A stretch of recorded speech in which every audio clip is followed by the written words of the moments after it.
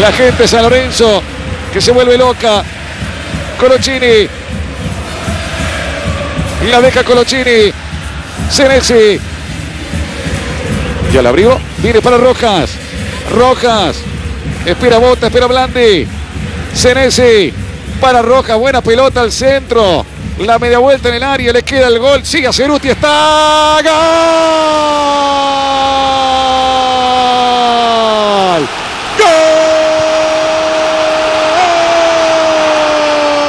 San Lorenzo. De San Lorenzo del Pocho de Ceruti. Cayó nomás. 31 minutos. San Lorenzo 1. Que el becero le hizo el Pocho. Control. Remate violentísimo, señores. Y San Lorenzo puntero junto a Boca del campeonato. San Lorenzo 1. Que el mesero lo hizo el Pocho. Lo hizo Ceruti 1 0.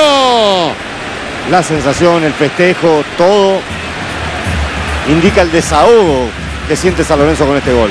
Porque le ha costado horrores el partido. Se ha sentido desconfiado. Una jugada que inician los chicos. Senesi y Rojas. Buen centro de este. En realidad hay un rebote.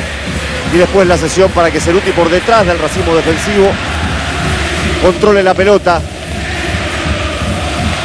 Buen pase de bota con su pierna menos hábil atrás de toda la defensa. Y Ceruti que esta vez privilegió la calma, el control alejando la pelota de su pie derecho y justamente alejándolo del intento defensivo de Quilmes para después sacar un remate fortísimo y San Lorenzo encontrar una merecida y trabajosa ventaja. Le queda la pelota a Rigamonti, no se terminó. Y ahora Quilmes, perdido por perdido, va a buscar el empate. La meten para Senesi. Despejando. Senesi de cabeza. La busca Musis. La peinaron. Buscaba Venegas, piden falta. Sale ahora Bota. San Lorenzo lo tiene para liquidar ahora. San Lorenzo lo tiene para liquidar. Si la meten el gol de Blandi. A ver, a ver, enganchó hasta el segundo. Sí, señor, está el segundo. ¡Gol! ¡Gol!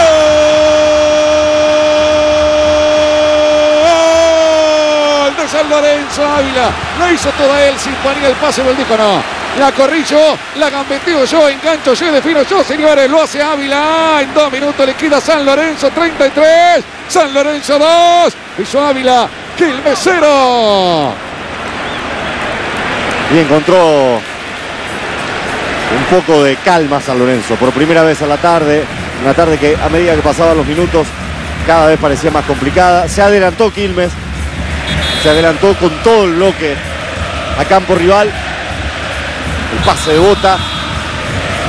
Por supuesto que la perspectiva no es la ideal, pero da la sensación de arrancar en la misma línea.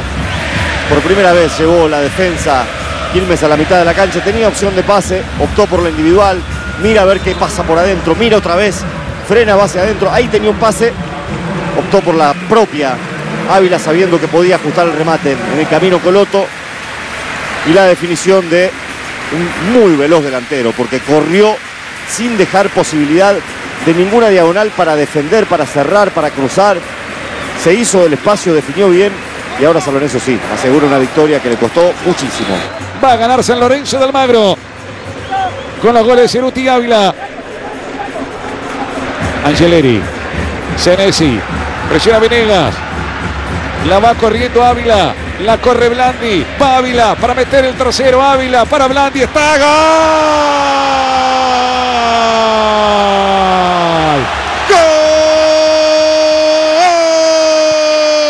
Gol de San Lorenzo. Faltaba el del 9. Faltaba el del goleador. Señores, se aparece Nico Blandi. 48 minutos. Cierra la cuenta y final del partido. San Lorenzo, tres punteros junto a Boca. Lo hizo Blandi. Quilmes cero.